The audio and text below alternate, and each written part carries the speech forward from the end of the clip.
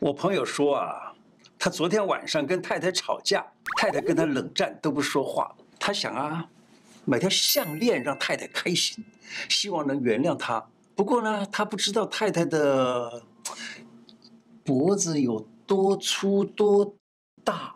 晚上呢，趁他睡着的时候，就拿了一根绳子要帮他去量那么一下。突然间，太太醒了，四眼相望，我朋友瞬间。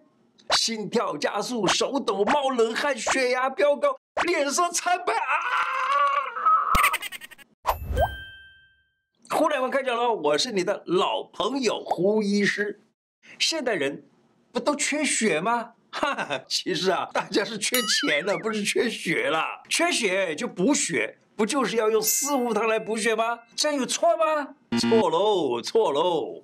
可以说啊，从以前吃四物汤到现在，大部分的人都只是加气头了，都没有什么效果。为什么？这一集会跟大家讲清楚、说明白，教你怎么样吃才能真正的补气又补血。看完这一集，如果觉得收获满满，请帮我分享给你的亲家狗杂、醋冰桃味，感谢你哦。哇什么是气血两虚？下班回家总是懒得动，假日只想躺平。哎呦，这讲的不就是我本人吗？好吧，接下来我就用躺平的姿势跟大家讲吧。嗯，嘿，开玩笑了啊。中医古时候讲啊，人啊从天上得到了这个所谓的五气，五行之气啊，进入身体里头呢，先进入肺，然后呢进到脾，然后由脾来输布全身，就这个意思。吸收了能不能变成有用的东西？吃进胃里面的能够营养身体组织的食物，吃进去了以后呢，我们要看我身体能不能把它消化呀？消化以后能不能被吸收啊？能够消化了的是脾的作用，能够吸收了也是脾的作用。吸收了能不能变成有用的东西呢？还是脾的作用，才能够使气血运行通畅。这样做，你的气血就开始两虚 i n g 了。血为气的源泉基础，有足够的血才能产生足够的气。如果血不够了呢，气就虚了。什么情况会害你血不够、气虚的呢？还我们从阴部、凹部两个方面来看啊。阴部方面就是一直在减肥，营养不足。正在减肥的人，容易产生血虚、气虚的情况，怕胖。吃进去的营养不够，怕胖，根本不吃东西，是不是啊？结果呢，又加上运动消耗，这样的人呢，就容易血虚气虚。太忙，正餐乱吃。上班族太忙，吃的少。经常饿肚子的人，爱追剧、打电动、不吃或随便在身上有什么、身边有什么东西抓起来就吃，例如一天吃一包洋芋片，哎，甚至于吃一箱洋芋片，或者是一面吃洋芋片啊，一面配可乐啊，长时间的这样子营养失调，那就会血虚气虚了。长期的不注重正常饮食，脾胃功能就变差了，吃再多的营养也。没办法好好的消化，好好的吸收，赶快不好啦。身体没有能量，气血两虚也会找上你，还有很容易塞性的。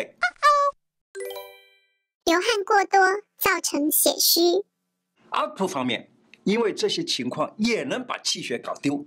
例如流汗过多，你知道吗？中国古时候的讲法叫做“汗者心之液”，也就是汗是由血来造成的。流汗过多呢，就会造成血虚了。天气热，运动过度，或者在大太阳底下工作的人，容易大量流汗，你知道吗？这样子汗出去了，也意思就是说血也不够了，血不好出去太多了，那这样子的话呢，就容易抽筋。其实身体已经在提醒你，嘿，血虚喽，要赶。紧避免流汗过度的这个状况了。大量失血，气血两虚。大量失血的人也会发生血虚气虚的情况，像是重症开刀啊，或者是在命运安排之下，搞不好出了点车祸呀，然后造成大量的流血，这都造成血虚气虚的情况。四物汤这样吃才有效。跟大家分享我自己有趣的事。你知道那个时候我的台语啊搞不清楚。那个时候我的岳母就常常这样子说：“他说来煮个素不辣火力家，呃，素不辣，素不辣，甜不辣到底是什么东西？跟什么东西？我以为他真的弄一个素不甜不辣给我吃啊！我说原来素不辣啊是四物汤，甜不辣呢就是那个是鱼浆炸出来的这些东西啊。这个文化不同啊，让我这讲呃想的也不同啊。四物汤怎么样吃才会有效？现在就来跟你谈四物汤怎么吃。不再只是假气头呀！好，来看《三补名医方论》里面举了张禄讲的“见血修治血，必先调其气”，就讲这个意思。就是过去的人说啊，见到血病呢，嘿，不要立刻去治血，应该是先调其气。见到血病，不要只是用血药来治，就这个意思。所以呢，他说四物汤啊，不能够得到补气药，那么就不能够得到所谓的阳生阴长的功效。这个是真正很重要的哟。要是说你想好好的补血的话，就喝当归补血汤。当归补血汤，我们听，哎，补血啊，对，它补血。但是你知道吗？它用的药却是黄芪用十份，当归用两份或三份。什么意思？当归是血药，黄芪是气药，也就血药少而气药多，这样子呢，才就是。补他的气，然后血呢才能够真正的被补起来。气血是生命根本。拜托，你们中医常常在讲气血，真的气血有那么重要吗？各位美眉妈妈哦，气血假如好的话，你脱掉口罩，或者是以素颜示人的时候，就能大幅度的降低心理的恐惧感。你说气血是不是很重要啊？气血是生命的根本，能营养内脏组。之气血平衡了，人的精神就好，百病不侵。中医古时候讲，血为气之母，气为血之帅。气呢，就是那个能量；血呢，就是那个供给能量的物质。就好像啊，在汽车里头啊，气。那个汽油啊，跟电系统的关系，汽车里头有了汽油，也就是有了血了。有了这个汽油呢，才能够把电系统启动。所以有了这个血呢，就能够启动身体里头的气。就像刚刚出生的婴儿，要是不哭那一声啊，就根本不能启动身体的电系统。以前在母亲身体里头的时候呢，是靠妈妈的血呀、气呀在运行。现在呢，离开母体了，就得全部靠自己喽。七种食物护脾胃，气血双补。教你这样补气才有效。记住，想要补气啊，就先补血。要想能补血的话，先把你的脾胃顾好，也就是说，把你脾胃的气顾好，照顾好脾胃的气。这个脾胃就是什么呢？在金元四大家李东垣就说，脾胃的气叫做中气，脾在中央，它可以灌溉四方。我们中医认为啊，脾在中央。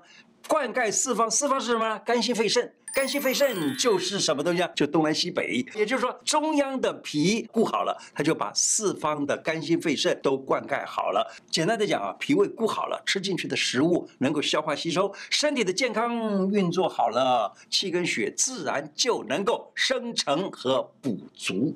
这些食物能够帮助你照顾脾胃。南瓜、小米啊、山药和莲子啊，还有红枣、高丽菜啊等等，这都是我以前讲过的，对不对？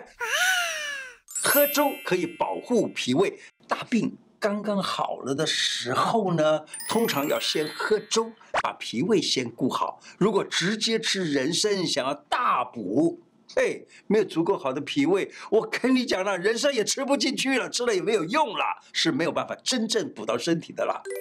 一补气汤方，治好贫血。西医认为的贫血啊，中医告诉你补气就能有效的改善，你是不是有这种经验？蹲久了，站起来的时候突然就哇哦暗鸣了，哎呦，心里想我是不是贫血了？对，是贫血了。西医对贫血就是这样说的，他说血液里头的红血球啦、血红素啦，还有血容积都降到一个一定的范围之下，那么这样子的话呢，嘿，就称之为贫血。贫血的时候，人容易说话有气无力的，手脚冰冷了，脸色苍白了，头昏目眩了。好，然后呢，再加上四肢无力。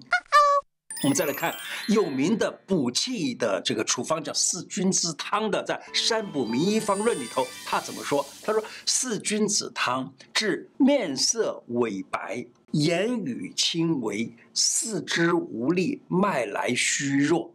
看到这几句话，你会想到，哎，就是刚才我所讲的，脸色也变白了呀，然后呢，也没有力气讲话了呀，然后又怎么样了？又怎么样了？是不是？哎，没错，就是这个样子。那这样子的话呢，哎，这面色萎白，哎，我们说是望而知之，他气虚了。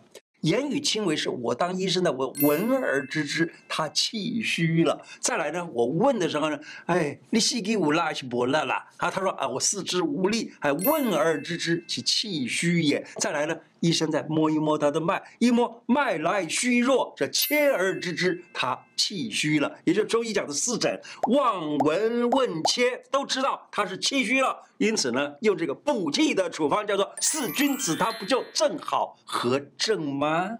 四君子汤就是人参、茯苓、白术、甘草，然后加点生姜、大枣。为什么叫四君子呢？《三补名医方论》里头选了吴坤讲的话。吴坤他在谈论四君子汤的时候，他说啊，这个方子四个药都是甘温，甘得中之味，就是中，也就脾土啊，甘得中之味，温得中之气，就是甘是中的味，也就是脾土的味，那温呢是中之气，也是脾土的气。所以呢，他吃下去了以后，好像是不偏不倚的人，所以叫他叫君子。因此呢，这个方子就叫做四君子汤。啊贫血救星，有一个方子我在以前讲过的，叫做补血燕麦粥。这个是一个食疗处方，就是燕麦呀、大枣啊、牛肉精呐，还有深绿色青菜以及鸡蛋啊。那么这样子呢，能够补充你的营养，以至于你能够把血给补好了。